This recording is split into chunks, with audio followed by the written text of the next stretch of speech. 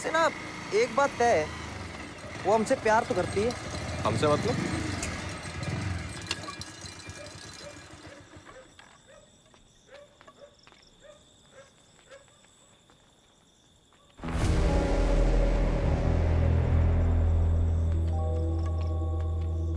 टीपू बात